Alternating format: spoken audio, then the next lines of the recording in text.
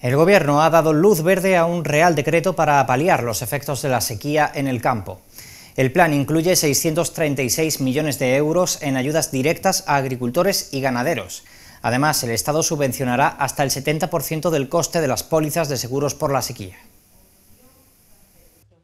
El Consejo de Ministros ha aprobado este jueves un Real Decreto de Medidas que prevé destinar 2.190 millones de euros para afrontar la sequía y aumentar la disponibilidad de agua. Es una cantidad tremendamente significativa que tiene por objeto principal, que es el de este decreto ley, asegurar la continuidad productiva de nuestro sector primario. Nuestro objetivo es que el volumen de agua que España utiliza eh, de esta fuente no convencional, reutilización de agua, pase del 10% actual al 20% en el año 2027. El Consejo de Ministros da luz verde a ayudas directas de Estado para el campo de 636 millones con un impacto económico total que suma más de 784 millones de euros.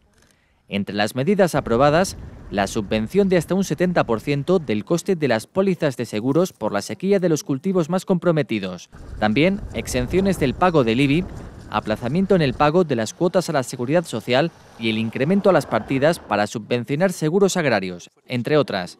Además, el Gobierno prevé incluir un precio fijo para el agua desalada y asumir las obras para acometer un trasvase en Doñana y abastecer a Matalascañas.